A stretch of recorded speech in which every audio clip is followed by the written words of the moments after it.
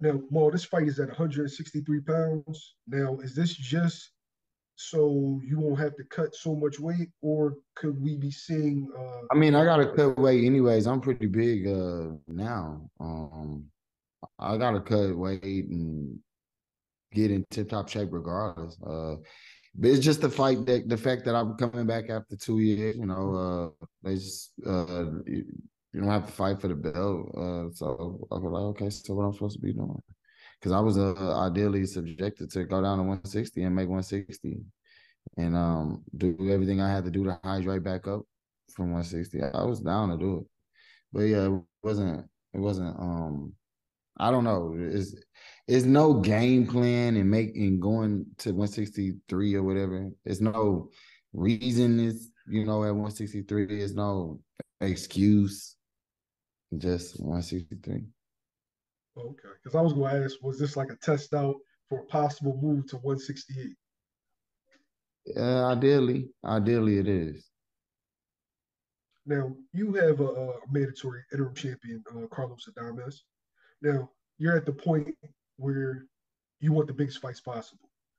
Is it Carlos Adames? I know you don't want to look past Benavidez, but is that on your radar? Or if you get past Benavidez, like all the guys that everybody keeps mentioning your name with, the Canelos, the uh, Big Benavidez, etc.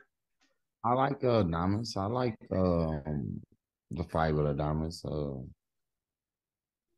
you know, fast, strong, agile kid. Uh, what is he from DR? It's a beautiful place. I know I'm pretty sure everybody uh, uh know him there. Uh, uh, he's a he's he's still a big fight, even though he's not like a Benavidez or Demetrius or Caleb Plant or you know uh Canelo, of course. But you know those.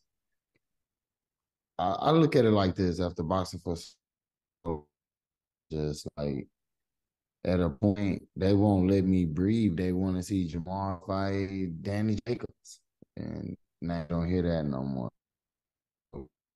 You don't hear those things because uh, I'm still I'm still being unstoppable, but they're not. You know what I'm saying? We don't see Danny Jacobs fighting anymore. We don't see anyone else doing what they're supposed to be doing. So it's just one of those things that it's just like in due time, you know, in due time, you whoever is next on the radar, like I'm I'm bringing the fight. I'm the reason the fight is gonna happen. It's because of me.